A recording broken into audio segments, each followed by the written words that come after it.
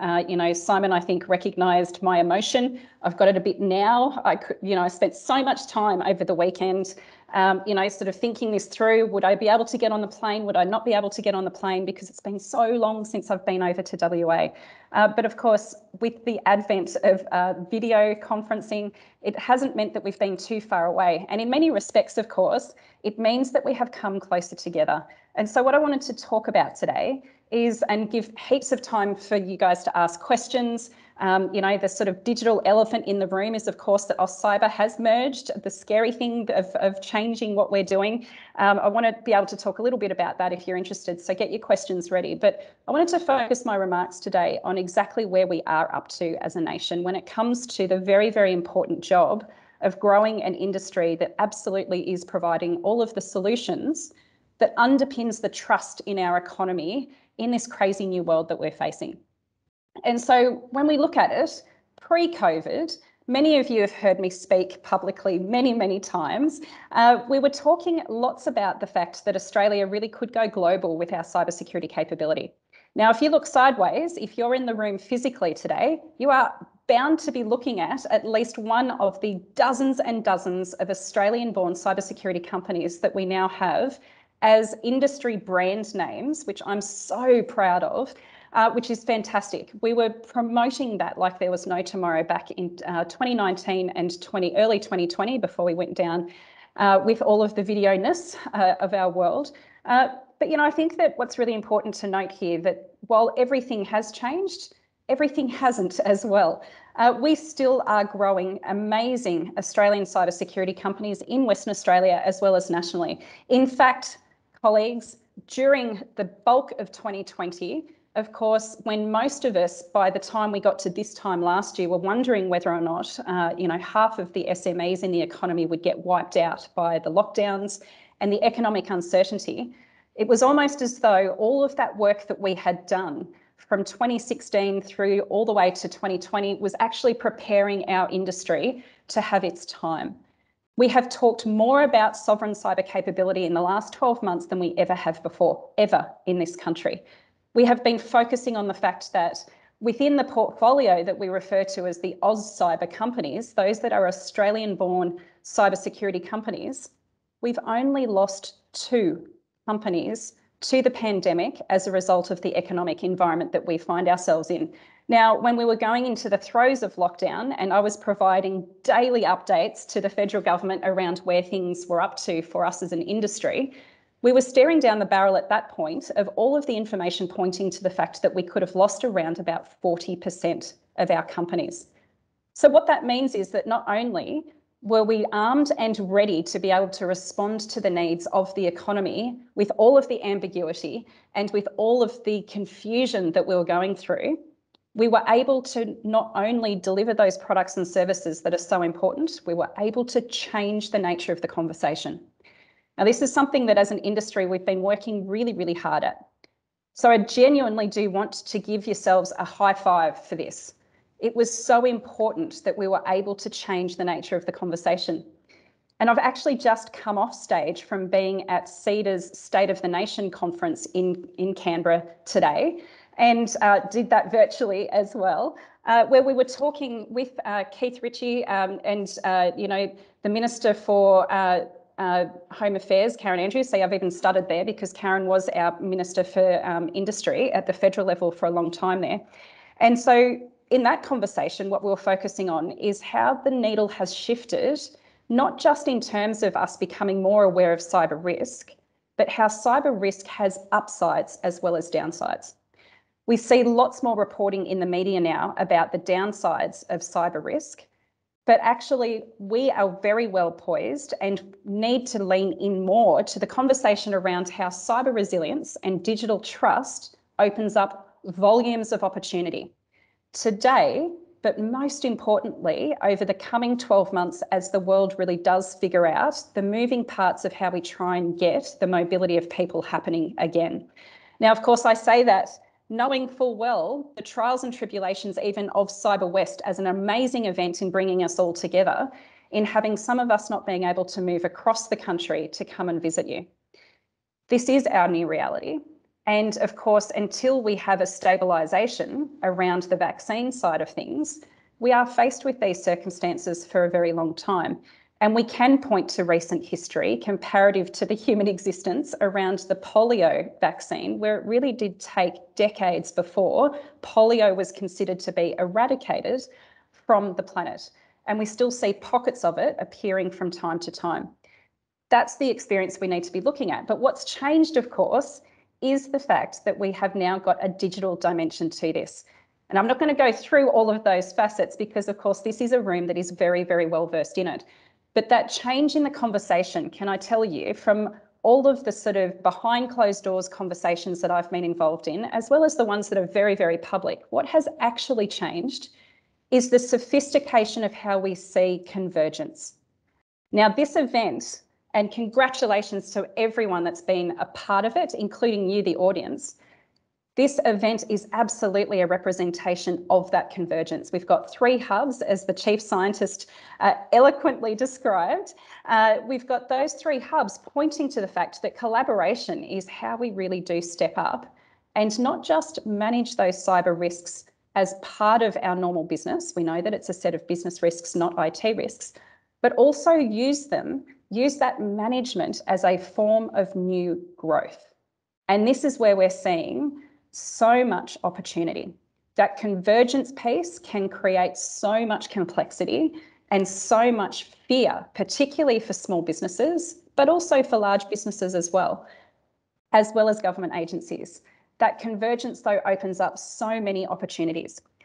So I'm going to pause by saying that if you haven't got your questions ready, get them, get them, get them going. Uh, digital trust and I'm going to also add to digital trust by saying tech for good. These are phrases that we can all be using to actually literally change the way that people in a moment of time think about cyber risk. Now, the digital world, as we know it to be, is cyber physical. We know that. But we still have so many colleagues in the business and government world who actually don't live and breathe that every day from a conscious point of view. Of course, they are actors in it just as much as we are. But we do still need to up the ante on making sure that we remember that not everyone has a deep understanding of these issues in the way that we have. But gosh, they are curious. So, all of that industry development that we've had, I implore all of us to continue to remember that we are just at the beginning. And I will remind us that, of course, within WA, it's very, very easy to talk about uh, mining and agriculture. Some of you have heard me say this before, but I do think that it's worthwhile reminding ourselves. Agriculture is the oldest sector of our economy, and it has received government support from the moment it became a formal sector when the signing of the Constitution happened in 1901. Every single year since then, governments around the country have supported the agriculture industry from a financial as well as policy perspective. This is the critical role that government has to play in new industries and critically for cybersecurity because we enable all other industries. We are seeing that in spades in WA, and we love our relationship with the WA government, but we do also enjoy that relationship with every other government around the country, including, of course, the national government that is the Australian government. The public private partnership has never been more important, and everyone has a part to play in it. But let's get that conversation happening around tech for good and digital trust. Tanya, I'll open for questions there if, if we've got some.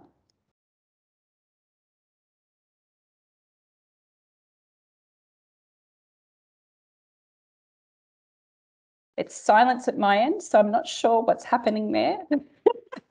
I can keep talking, of course. Everyone knows I can talk under wet concrete.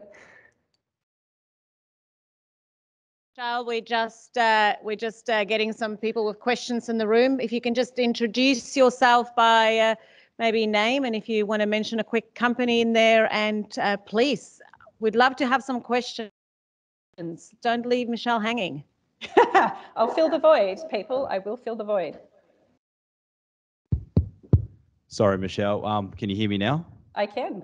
Fantastic. So we're going to open the floor now to questions. We'll have our two volunteers roaming each end of the room. Just put your hand up if you'd like to ask Michelle a question. Hand over to you guys.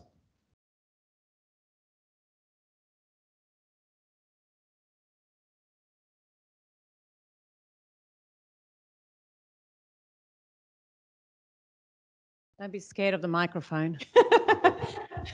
well, maybe what I do here is um, jump in and sort of suggest that data is so important to be able to prove the value of our industry as well as, of course, each individual organisation.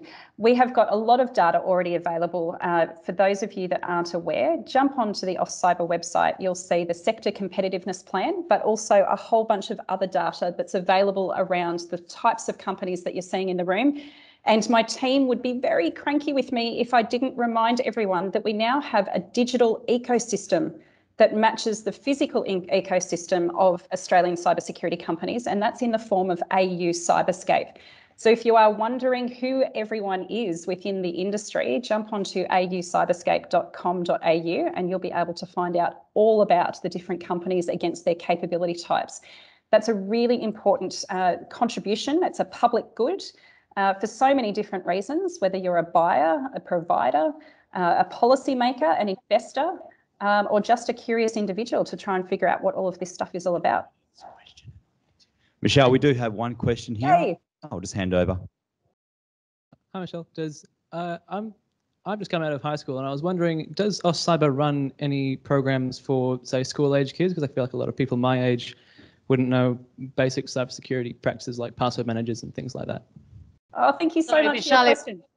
If I can give you context, since I know you can't see the room, uh, people my age, it was a younger gentleman asking the question, possibly. Possibly. I love that. Thank you. And thank you so much for your question. And thanks for being curious. Uh, absolutely. AustCyber has funded so many programs around the country uh, to be able to make sure that uh, school students of any age, whether we're older or younger, right down to the ages of five years old, a whole series of programs that have been rolled out across the country and are still being rolled out across the country. But if you're super keen to find out the details, jump on again to our website. We've got a dashboard, an education dashboard that talks about where those courses are occurring. If you're still within primary school and high school, uh, you won't see that on the website, but there is an Australian Cyber Schools competition that we have funded in conjunction with Australia's top four banks combined with BT. Uh, and so your colleagues in the room from CBA and others will be able to show you to that. Uh, that's actually a set of competency-based um, learning that gets offered within the classroom and it culminates within a set of competitions each year. We also have funded Cyber Taipan and if you're in high school right now, Cyber Taipan has kicked off again for its annual uh, competition, that's actually where you get to apply the skills that you learn from the competency based learning that happens in the classroom and win amazing prizes. If you're an adult and you're keen to get involved in those kinds of competitions, there is a dashboard that shows you where the latest competitions are. And there's a whole series of ones, including one that I'll call out that's being run at the moment by Fifth Domain, uh, who I think is in the house, so to speak. Uh, that's a global competition with counterparts across Five Eyes and beyond. Uh, so there's a huge range of opportunities there from an education point of view. But if you're also looking for a job in cybersecurity, well, you could talk to anyone in the room right now because, of course, everyone is hiring. But you can also go to a platform called cyberseek.com.au, and that is a platform that shows you where the jobs are. Um, specifically by geography. This is something else that we've funded to happen so that we've got the visualization around where the jobs are happening and who is providing those jobs. So a whole bunch of tools that we've provided for the country to be able to start tackling the skills shortages problem. And who wouldn't want to be in cybersecurity? It is so exciting. Thanks, Michelle. I think we've got time for one more question anywhere in the room. Right hand side is lagging, a- lagging a little bit here. Thank you very Hi, much. I knew there was Michelle, there, Alice Simon. here. Over there. Hope you're well. Sorry, couldn't be here today.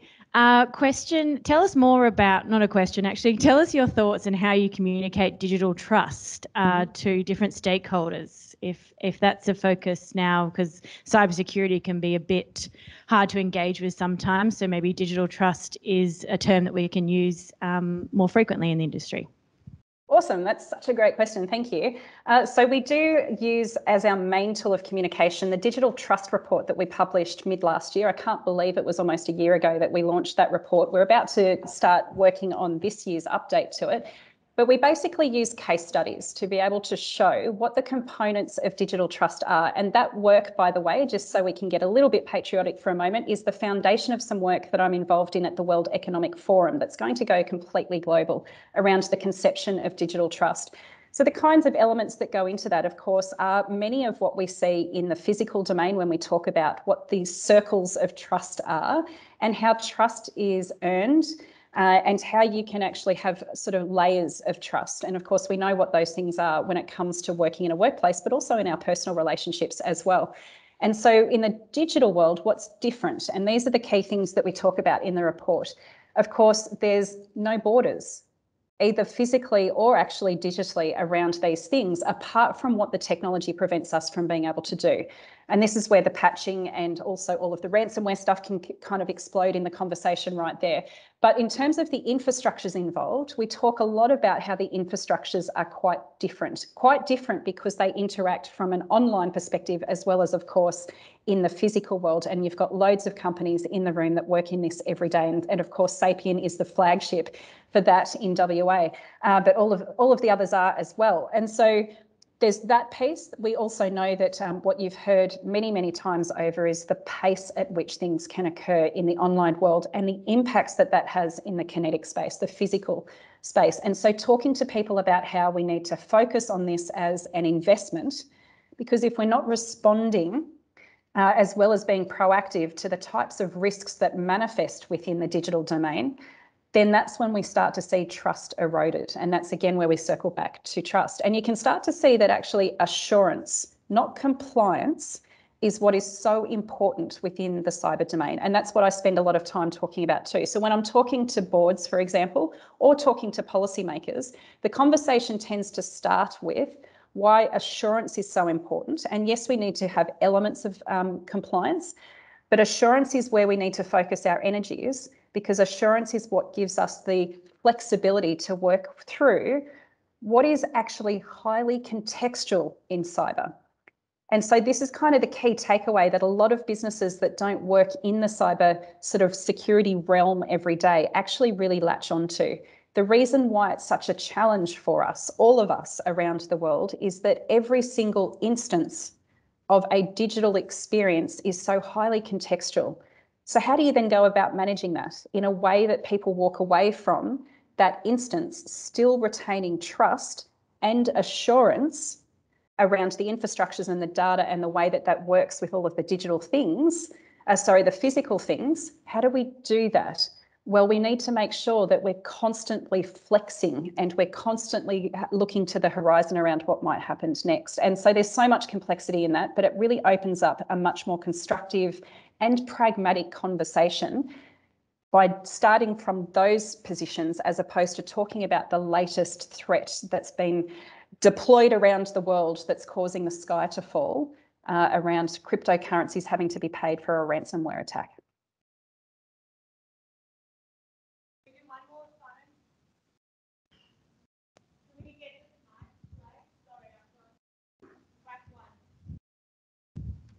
Thank you. Hi, Michelle. It's uh, Bex Neidhart here from Paraflare.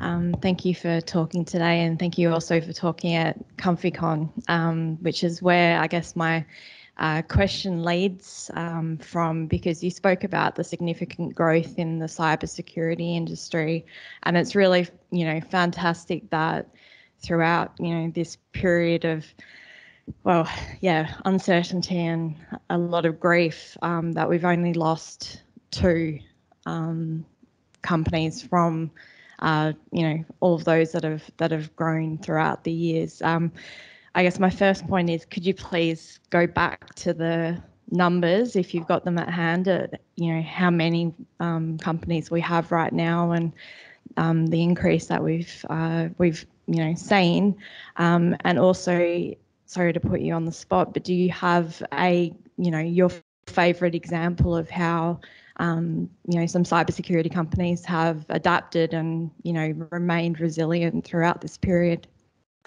Uh, thanks, Beck, and thanks for referring to ComfyCon. That was one of my most favourite speaking engagements that I had last year. It really, truly was.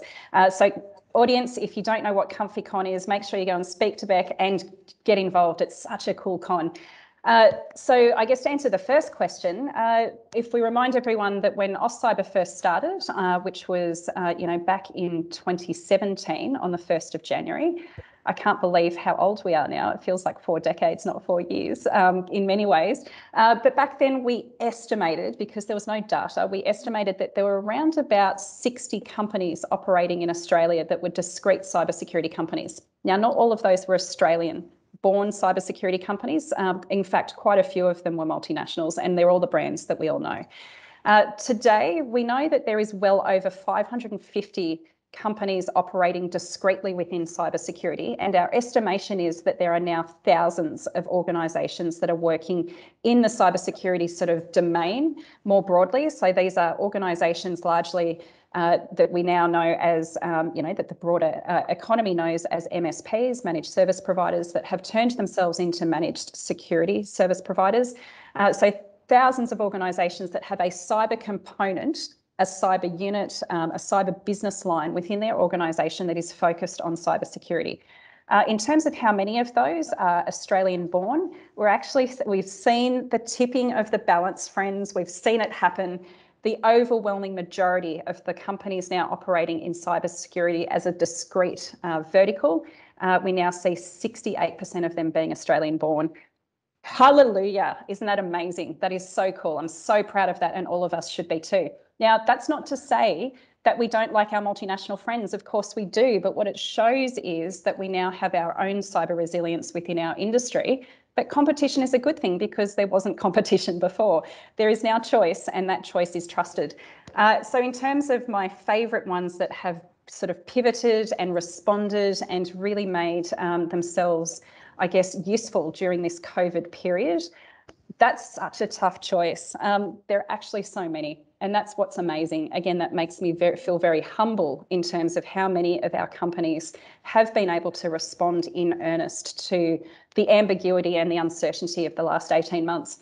Um, it would be remiss of me not to focus on a WA company, though, wouldn't it? I'm sort of feeling like the room is smiling right now. So let me do that so that, you know, at the risk of all of the online people who are dialing into this, you're going to get a little bit annoyed with me, but I'll focus on WA. Look, um, I think that I'd, I'd, have to go with, and there's like a bit of a drum roll here. Uh, I'd have to go with Red Piranha. And, you know, this is because Red Piranha had some very, very cool tech uh, behind them before we went down into lockdown. Uh, but the way in which the use cases have spun out of the set of tech now that um, that Red Piranha has, it's not just one platform anymore, and being able to demonstrate very, very rapidly as well as in clear business terms what it means for the customer in clear business terms what those use cases are and have absolutely seen uh, some fantastic growth as a response now, I do feel sad that I, you know, could name everyone. All of the companies within WA have done an amazing job of their growth um, spikes. In terms of that adaptation, though, I think the crown's got to go to Red Piranha. Well done, Adam and team. Thank you, Michelle. Thank you so much for that, Michelle. Unfortunately, that's all that we have time for. But uh, please uh, flood Michelle's email with uh, inbox with emails if you have any other questions. I'm sure she'd love that. Sorry, Michelle. Team, this brings us to